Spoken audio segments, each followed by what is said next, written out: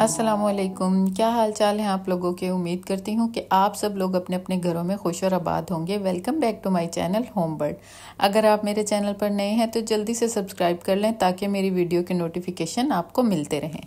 सबसे पहले तो आप सब लोगों का बहुत बहुत शुक्रिया, क्योंकि मेरे 2000 सब्सक्राइबर मुकम्मल हो गए हैं और मैं बहुत खुश हूँ। जिन लोगों ने भी मेरे चैनल को सब्सक्राइब किया है और जो मेरी वीडियोस को देखते हैं, उनका दिल से बहुत बहुत बहुत सारा शुक्रिया।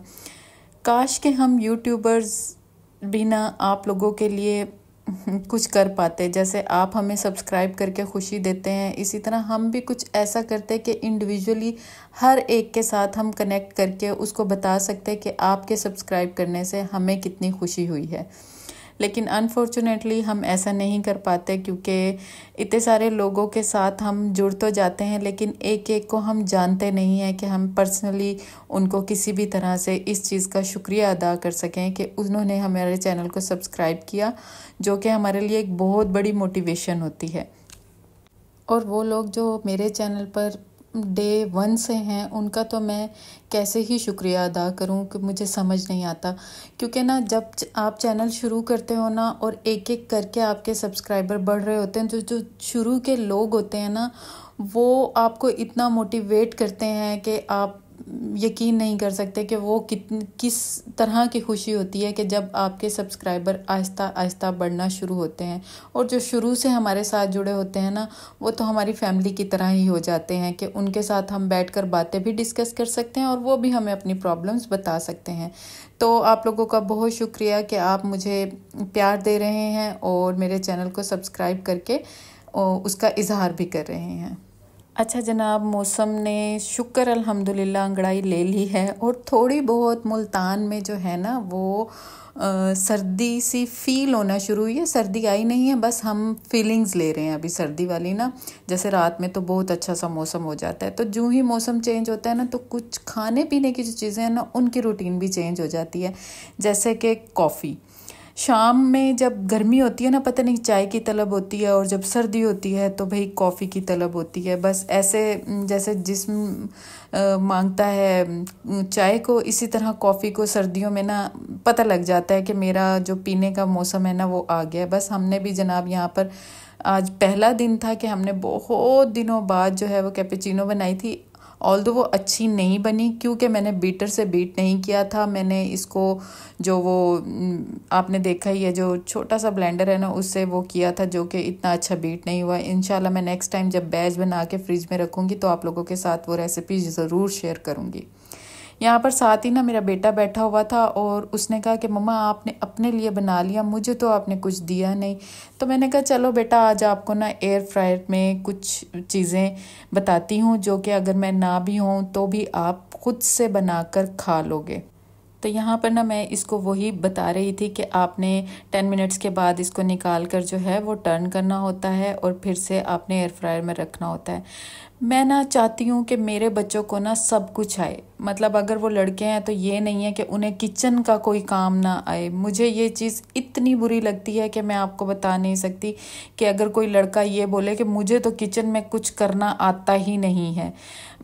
आई डोंट नो मुझे अच्छा नहीं लगता। इसलिए ना मैं अपने बच्चों को, मैं चाहती हूँ कि मेरे बच्चे ना कम अज़ कम इतना हो कि वो अपने लिए करके खा सकें।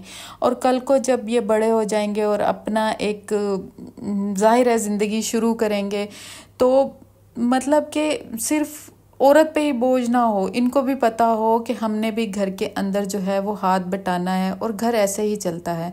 घर कभी भी पहले होता होगा यार, ये मुझे समझ नहीं आती पहले लोगों को ये क्यों लगता था कि औरत के ऊपर फ़र्ज़ है, वो घर चलाएगी और मर्द के ऊपर फ़र्ज़ है कि वो जो है आराम से जाके कमाएगा और पैसे ला कर देगा।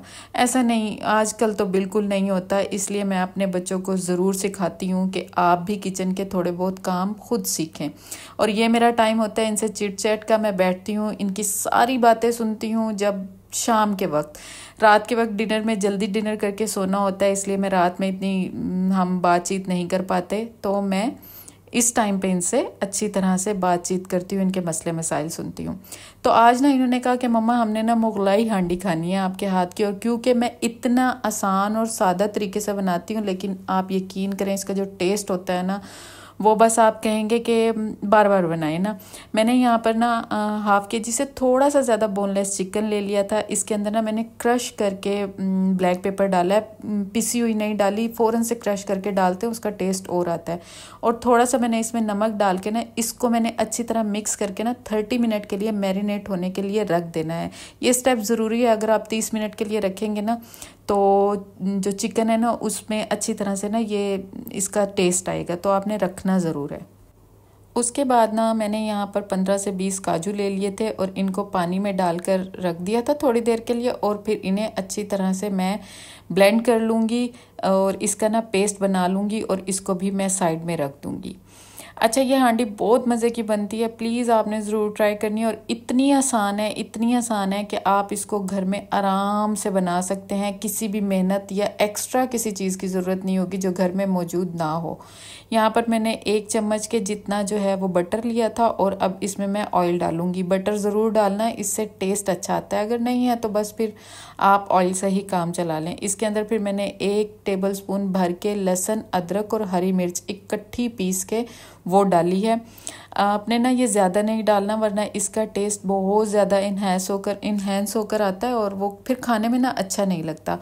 अब यहाँ पर एक बड़े साइज़ की प्याज को ना मैंने अच्छी तरह से चॉप कर लिया था। अच्छा ये ग्राइंड नहीं करनी है आपने चॉप करके ही डालनी है। इससे अलग टेस्ट आता है और जब हम वो पीस के डालते हैं ना, उससे अलग टेस्ट आता है। तो आपने ना ये रफली चॉप कर लेनी है, हाथ से कर ले। मैंने वैसे वो जो स्ट्रिंग्स वाला ब्लेंडर होता है ना, उससे की थी।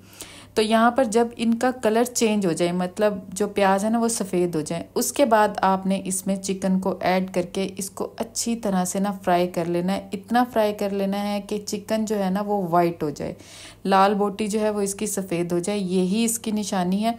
अच्छा जब भी हम कोई रेसिपी ट्राई करते हैं ना तो हमें मेक श्योर sure होना चाहिए कि जो चीज़ बताई जा रही है ना, उसको उसी तरह फॉलो करें ताकि उसका रिज़ल्ट उस तरह से आ सके ना।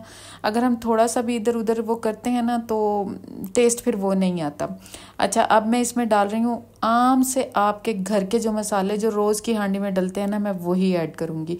और उससे भी देखना आप टेस्ट कितना मज़े का आएगा, आपने बस ट्राई करना है। यहाँ पर मैंने हल्दी डाली है, नमक डाली है, लाल मिर्च और धनिया पाउडर। वही बेसिक मसाले जो घर में डलते हैं।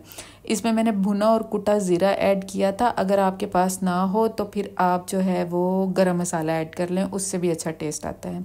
बस इसमें ये मसाले डाल के ना, मैं इसको अच्छी तरह से मिक्स कर लूँगी। थोड़ा सा मैंने इसमें पानी ऐड किया था, ताकि जो मसाले हैं ना, वो अच्छी तरह से सालन के साथ ना, वो मिक्स हो जाए। तो बस मैं इसको थोड़ा देर के लिए ना ढक के रख दूँगी, ताकि अच्छा सा मसाला भून जाए। मुझे लगता है हमें ना अपनी ज़िंदगी को ना आसान बनाना चाहिए। हम जितना आसान बना सकते हैं, उतना आसान बनाएँ। अपने लाइफ को, अपनी सोचों को, अपने रहन सहन को, हर चीज़ को। अच्छा जनाब, यहाँ पर ये देखें, चिकन में ना थोड़ा सा ऑयल आ गया है। ये इसकी निशानी है कि ये अच्छी तरह से भुन गया है। अब मैं इसमें ना टमाटो प्योरे ऐड कर रही हूँ। अगर आपके पास नहीं है तो आप एक बड़े वाला टमाटर लेकर ना उसको ब्लेंडर में ब्लेंड कर लें और उसको छान कर डाल लें।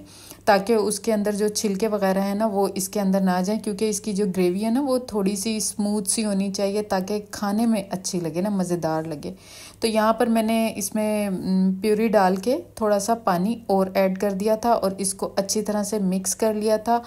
अब जनाब मैं इसे दोबारा से ढक कर रखूँगी ताकि जो टमाटर आपने डाला है ना, अगर उसका कच्चापन दूर हो जाए और वो अच्छी तरह से ना मसाले में जज्ब हो जाए और वो यकजान हो जाए। उसके बाद जनाब यहाँ पर जो सारा फिर अब इसकी ग्रेवी बनेगी ना, वो बनेगी दही से। मैंने एक पाव के जितना दही डाला है, आपने चिकन के हिसाब से अपना डालेंगे ना दही तो परफेक्ट ग्रेवी बनेगी।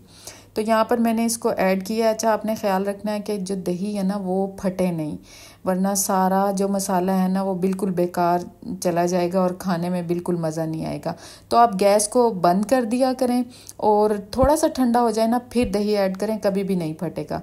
उसके बाद जनाब, दही भी अच्छी तरह मिक्स हो गई और फिर से ऑयल ऊपर आ गया तो ये भी निशानी है कि दही जो है वो अच्छी तरह से पक चुकी है। उसके बाद मैंने इसमें वो जो ग्राइंड किए हुए काजू थे, वो ऐड किए, इनको अच्छी तरह से मिक्स किया और फिर मैंने पाँच मिनट के लिए ढक कर रखना है ताकि जो काजू की थोड़ी सी स्मेल सी होती है ना, एक कच्ची सी, वो दूर हो जाए। और अगर आपके पास काजू नहीं है तो आप बादाम डाल लें। बादाम को भी आपने छिलका उतार के पीस लेना है।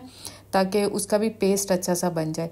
बस मैं इसे अब ढक कर रखूँगी पाँच मिनट के लिए ताकि तमाम चीज़ें आपस में अच्छी तरह से मिक्स हो जाएँ।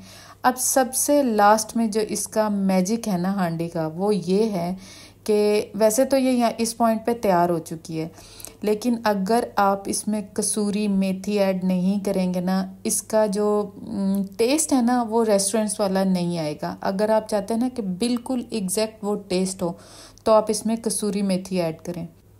इससे जो इसका टेस्ट है ना, वो तीन, चार, बल्कि दस गुना ज़्यादा हो जाता है और आपने अच्छी खासी कसूरी मेथी डालनी है। इसके बाद आपने गैस को कर देना है बंद और इसमें आपने हरी मिर्चें ऐड करनी है, लंबी कटी हुई गोल काट के नहीं डालनी लंबी लंबी डालनी है, उससे ज़रा ना लुक अच्छी आती है।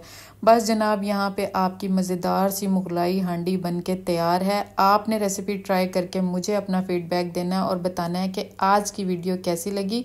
आज की गपशप वाली वीडियो आपको कैसी लगी? अगर इस तरह की वीडियो अच्छी लगती है तो मुझे अपना फीडबैक दें ताकि मैं इस तरह की वीडियो बनाऊँ। अब आपको मिलते हैं नेक्स्ट व्लॉग में। तब तक अल्लाह हाफिज़।